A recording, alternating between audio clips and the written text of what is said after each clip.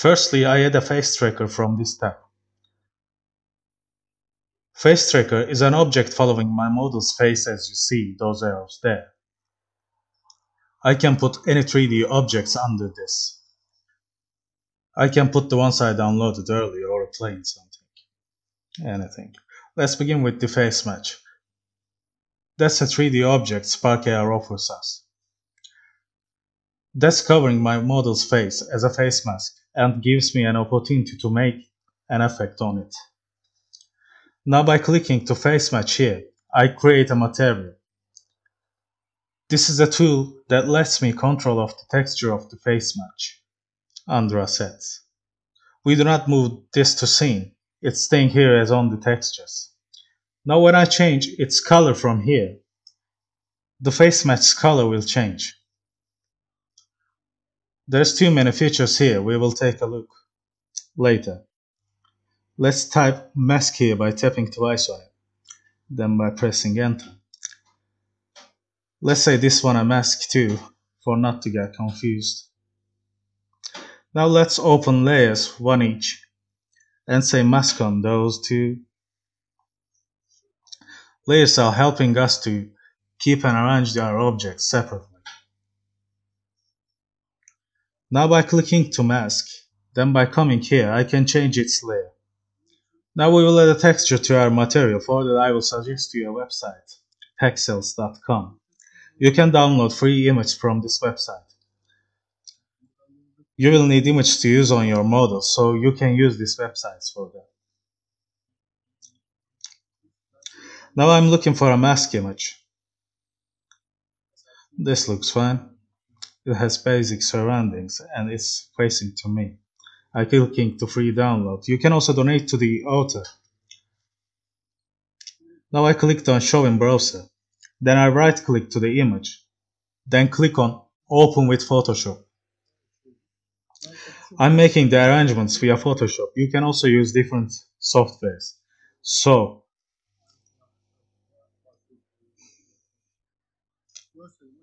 My image is here now. I need another file. On the first lesson, the downloading lesson, we downloaded a file called face assets. It's good to remind it, export it from the zip file and use it on your desktop. Now I'm clicking to textures. Now we have two images here. Those images are the reference images provided from Spark AR Tools. There is a face masculine for men and face feminine is for women. We are choosing the masculine because we're gonna work on men's face clicking to open with Photoshop again. That's here too. Now I need to take this mask from here. Firstly, I unlock its layer from here. After that, I choose the polygonal tool. Then I start taking it from its edges.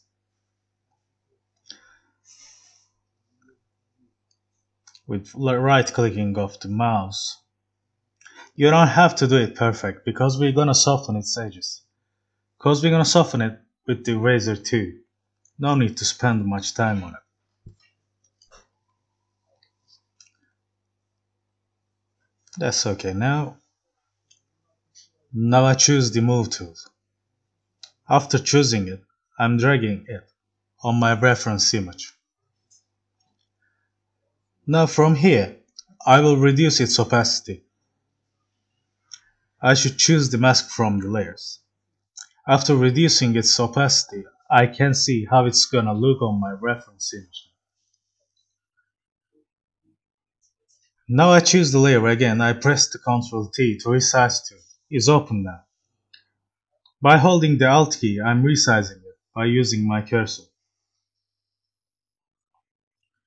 I'm arranging it to fit on the reference image. I can enlarge it a bit more. Yes. That looks fine like that. I click on enter after the resizing process. I'm increasing opacity again from here. We forget to take off the eyes on image. Let's click Ctrl plus T again. It looks a bit rotated to left. Let's rotate it to right now I'm zooming into, uh, into the eyes. I choose the eraser tool from here. Then right clicking here after right click, I choose the hard round eraser tool. I reduce its size, looks fine. I left clicked to the edge. Then come to other edge.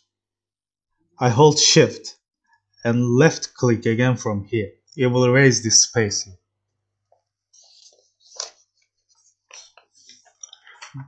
Then I manually erase the rest.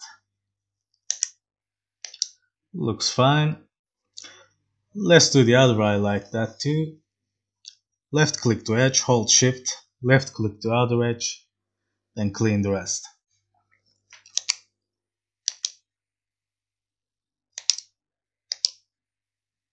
Yes, I've done the eyes. Now I need to unlock the background. After unlocking it, let's hide this one by clicking here for now. Now I have a magic wand tool here. I have to choose the layer first. Then from here, by holding the shift, the tool will choose the similar colored pixels around. Just like that.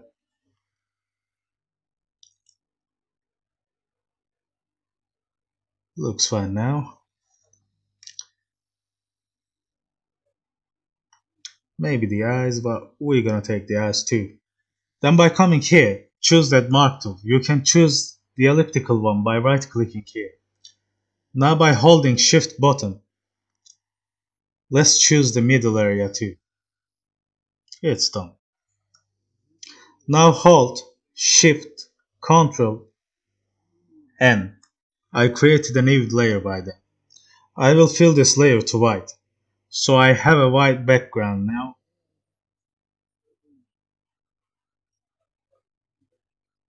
Now I'm opening the mask layer back. Then I choose this layer again. Now I don't want those eyes look white on the mask.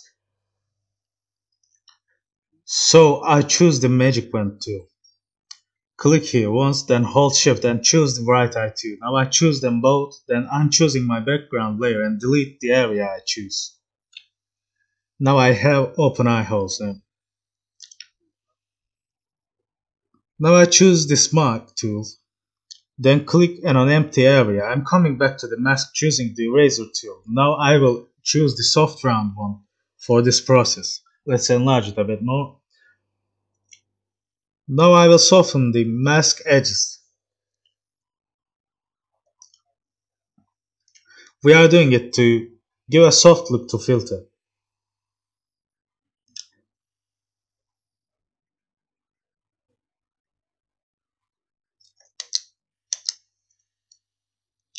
This bit needs more. Let's clean the bottom like this.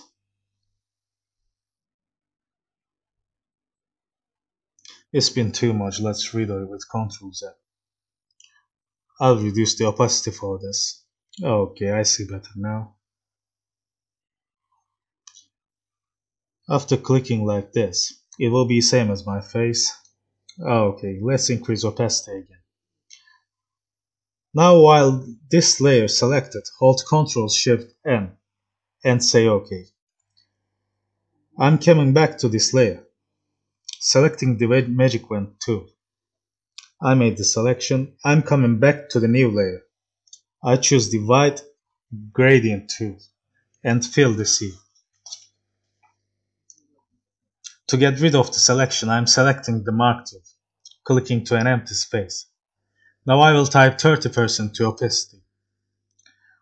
I'm reducing it to 30%. Oh, okay, my image looks fine now. I need to save that. I'm making this invisible by clicking here on the reference image because I just want the mask image. I clicked on file, then click on save as. Okay. Let's save it here. From this tab, I choose PNG and type as mask. I save it. Say OK to this. Now I save the image. I come back to Spark AR. From this tab, I click on Add Assets. Now I'll import a texture like we did before on fixed target tracker lesson. From here I need to find the mask image I just saved. I saved it in face assets, we said mask. Now my texture is here. As you remember, we connected the material to face mesh. Now from material, I choose the mask texture. And now I have my text, texture on my model's face. Now from material, I will make some settings of it. From here, I open the specular. Specular is using for light reflection. Let's swap this to color. Let's make it a bit whiter. Click OK and set this to 67. Now I have a brightness on the face. Lastly, when we click on replace, it's been so dark, but our model will appear better. By that, we have done adding textures to face mesh lesson. Now let's see what else we can do with face mesh. Now we will see how to make tattoo with face mesh. I've downloaded a bird PNG. There are some websites you can find PNG images. If you search by adding PNG to the end of your search on Google. Now this time we open face mesh trackers with Photoshop.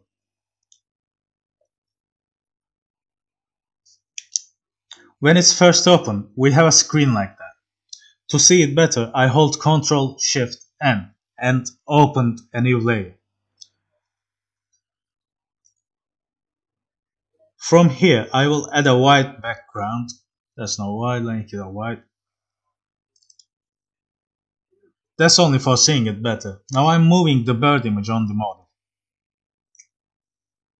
I'm resizing it by Ctrl T. Let's zoom in a bit. I'm rotating it to put on this cheek. That's okay. Now this model's feature is those red dots are the face trackers tracing points. I'm in its tracking the face by getting those dots as reference. Not all the face, only those dots. That's what those red dots represents and I also and also I can easily see the depth of the face. That's why we are working on this one while working on tattoo effects. The other mask was covering whole face so it wasn't that important but on this one we will make something on a part of a face so we need to see the depth and points. Now I also gonna add a text here.